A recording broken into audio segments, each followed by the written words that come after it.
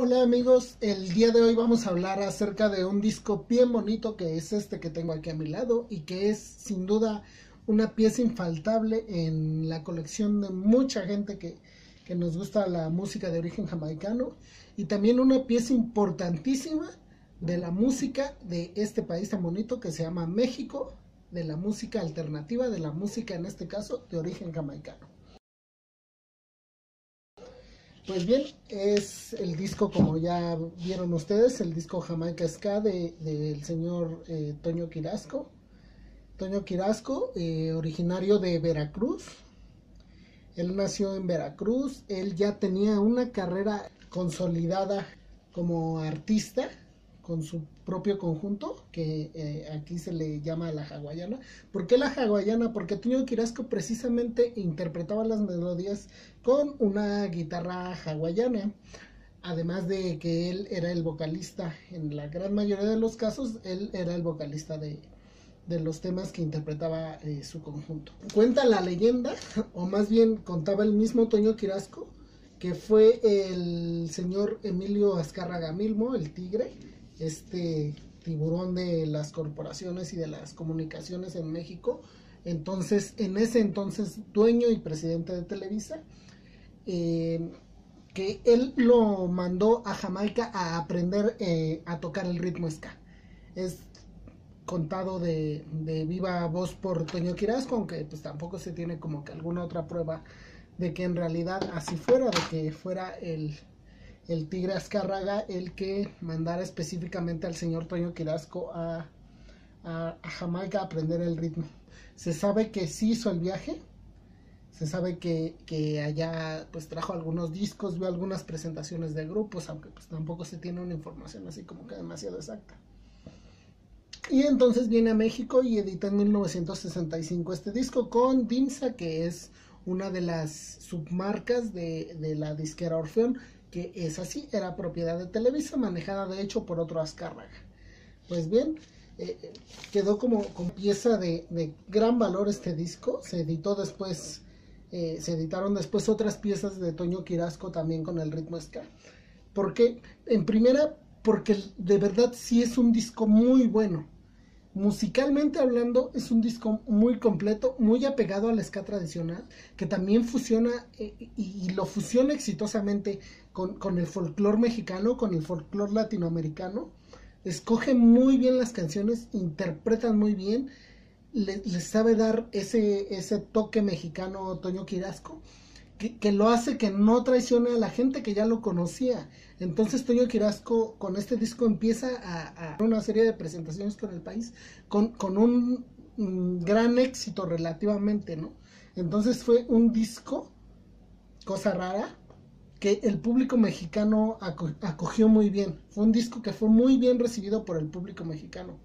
Y, y eso hizo que, que, en cierto modo se grabaran más temas de ska por parte de Toño Quirasco. Después vinieron, por ejemplo, eh, también el Ska LP de los socios del ritmo que se editó al año siguiente. Este disco se editó en el año de 1965 con el ska eh, nuevo relativamente saliendo saliendo del cascarón si bien las grabaciones jamaicanas a ritmo de ska ya datan del 59 del 61 el, el ritmo como tal había nacido se le había dado el nombre y había adquirido características totalmente particulares en el año de 1964 con el Ball of Fire de, de. A tan solo un año de, de, del gran debut de Scatalites en la escena musical mundial, viene Toño Quirasco y nos entrega esta pieza magnífica de, de música. Vamos a revisar un poquito los temas. La primera canción del lado A es Jamaica Ska del Byron Lee. Mary Ska, que es un cover de Royal Ska de Carlos Malcolm.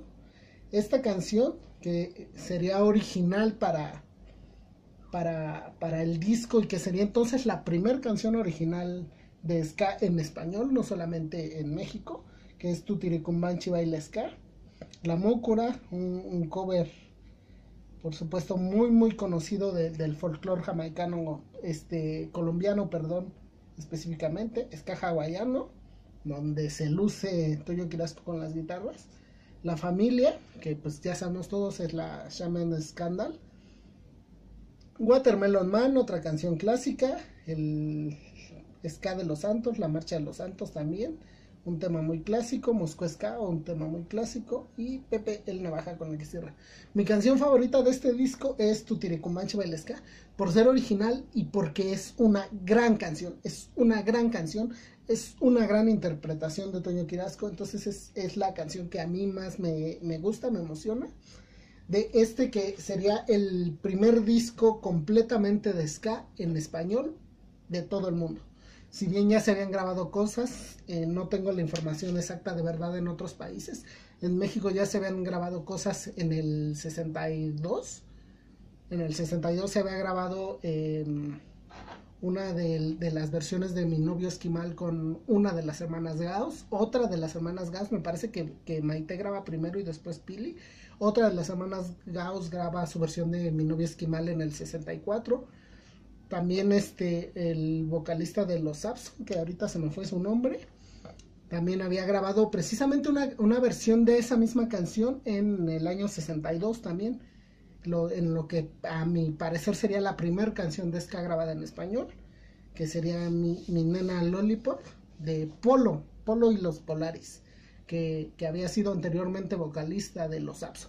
Pero en el 65 llega Toño Quirasco con este disco, completamente de ska una, a mi parecer, una obra maestra, una masterpiece.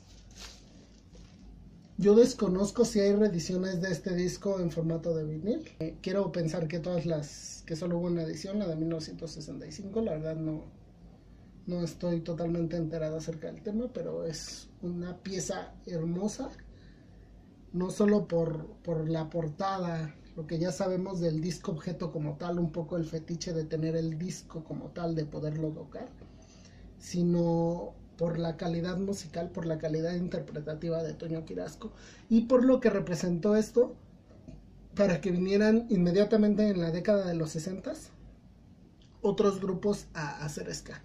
Posteriormente en México en la década de los 70 ya vendría Benny, su grupo de Benny Loaesa o Eli Combo a, a hacer algunos pininos de reggae, algunos otros grupos que, tuvieron algún toquecito, algún ritmito jamaicano en sus, en sus letras, algún cover de Adiós a Jamaica por ahí de los, de los Bibis, si no mal recuerdo, y así. Pero bueno, esta gran pieza, el Jamaica Ska de Toño Quirasco. Y si les parece, pues también les ponemos un cachito de una canción que va a ser mi favorita, por supuesto, Tutirecumbanchi Bailesca.